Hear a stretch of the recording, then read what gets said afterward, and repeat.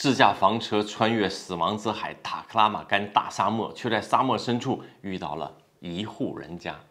你好，我们是自驾房车漫游中国的福旺家。新疆的旅行已经结束了，回家这段时间呢，时常想起来这次新疆行。今天早上我看小妹儿插在花瓶里的，在沙漠中捡回来的这枯枝，就再次想起了穿越死亡之海塔克拉玛干沙漠的经历。这个经历啊，弥足珍贵。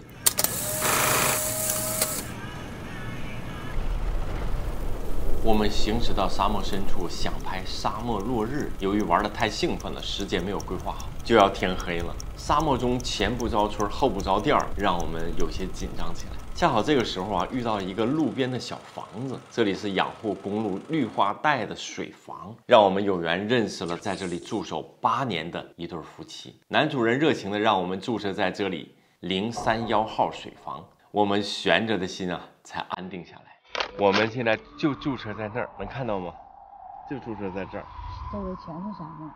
这就是沙漠的腹地。然后就拍到了一心想看的沙漠日落。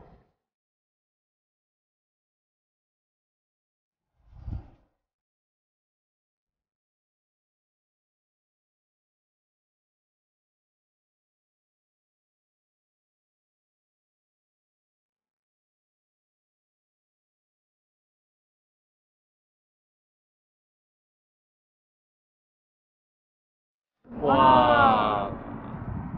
我们现在在塔克拉玛干大沙漠的腹地，对，现在是夕阳夕阳下西下的时候，入夜寂寞的沙漠里啊，只有风声，安静的有点孤寂。开车一天有点累了，我们就休息了。第二天早上的沙漠日出，又开始了我们新的一天，也让我们有机会走进了他们两口子的生活。千百年来，塔克拉玛干沙漠都是无人区，也是难以穿越的死亡之海。自从有了这条沙漠公路，汽车穿越沙漠成为现实。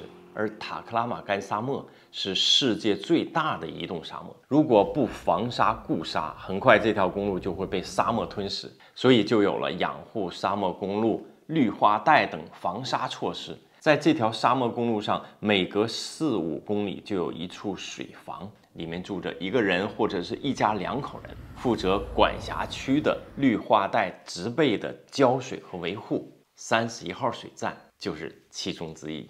他们两口子已经在这驻守八年，我对他们在寂静的沙漠里独自生活漫长的八年时间充满了好奇。我们在一起就聊了起来。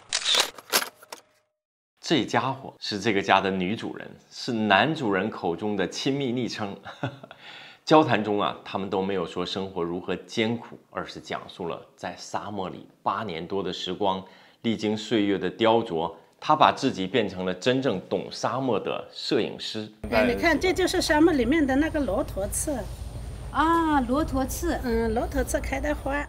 其实他并不是很爱说话，但当他看到有人懂得欣赏他的照片时，就变得滔我滔不绝就喜欢这样的文和我们分享他在沙漠这八年里拍摄的一张张满意的作品。说着兴起，就带着我们去寻找沙漠里不同的风景。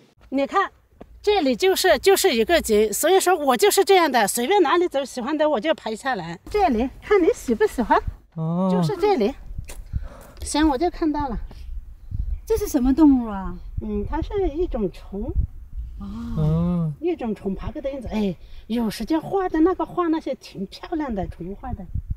沙漠中的脚印儿、梭沙、蜥蜴，还有那些植物，以及沙漠中出现的光影、好看的印记、图案，都是沙漠姐姐的创作素材。看似普通的沙漠，她却总是以自己独特的视角发现不一样的美。这片沙海给她带来源源不断的灵感。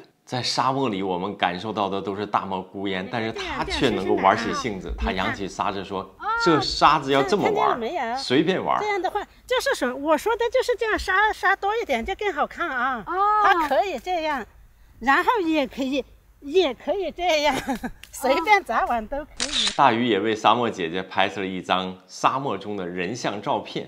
他说：“真正喜欢沙漠的人才会一直坚持。”他八年里差不多每天在沙漠里拍摄两三个小时，乐此不疲。他还说，一家人每个人的爱好都不同，那个人喜欢做木雕。那个人就是沙漠姐姐的老公。那天夕阳时刻初识的这位兄弟，他热情地招呼我们住在他的小院子里。在我眼里，他俨然是一位雕刻师，材料都是来自于这茫茫沙漠。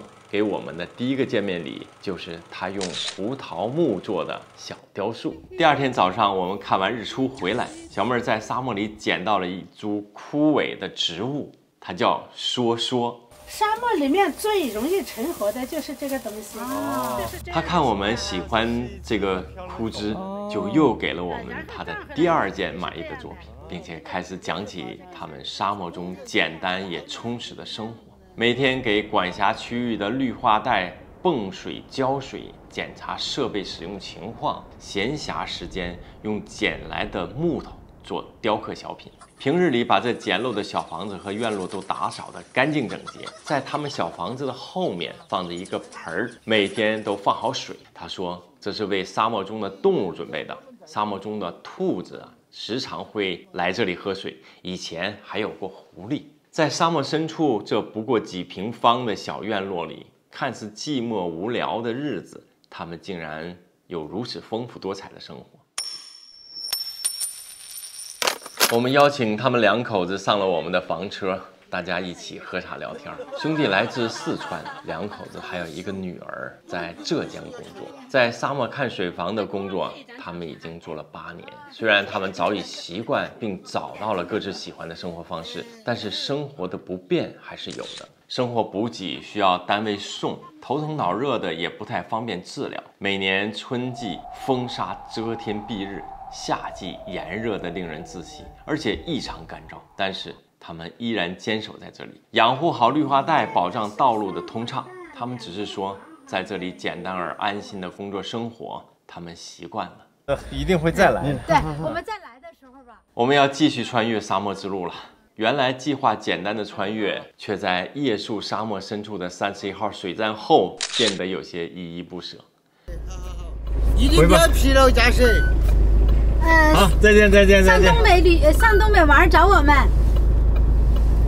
哇，真的还有点这个依依不舍的。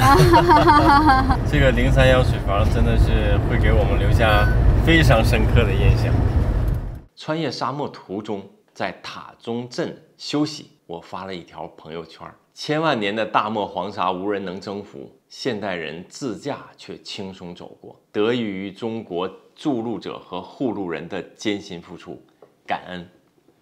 我们一家人对塔克拉玛干沙漠的理解发生了变化，这里不再是死亡之海，而是一个我们有朋友的地方。我们会想念三十一号水站，我们期待下次再来。